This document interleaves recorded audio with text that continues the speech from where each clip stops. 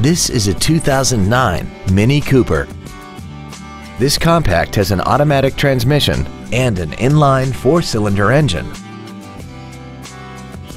Its top features include a multi-link rear suspension, traction control and stability control systems, commercial-free satellite radio, aluminum wheels, and a tire pressure monitoring system. The following features are also included. Air conditioning, full power accessories, a rear window defroster, a leather-wrapped steering wheel, a variable valve lift system, a passenger side vanity mirror, an engine immobilizer theft deterrent system, an anti-lock braking system, a keyless entry system, and this vehicle has less than 30,000 miles.